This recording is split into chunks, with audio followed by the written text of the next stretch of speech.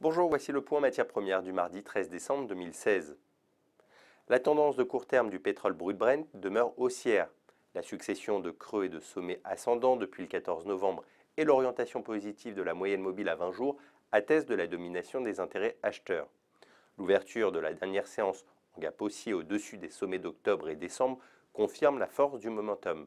La formation en étoile filante de la dernière bougie signale des prises de profit, mais ceux-ci ne sont pas pour le moment de nature à remettre en cause le mouvement actuel. Tant que le gap reste ouvert, la tendance actuelle n'est pas remise en question et oriente les cours vers 58,45$ puis 62,45$.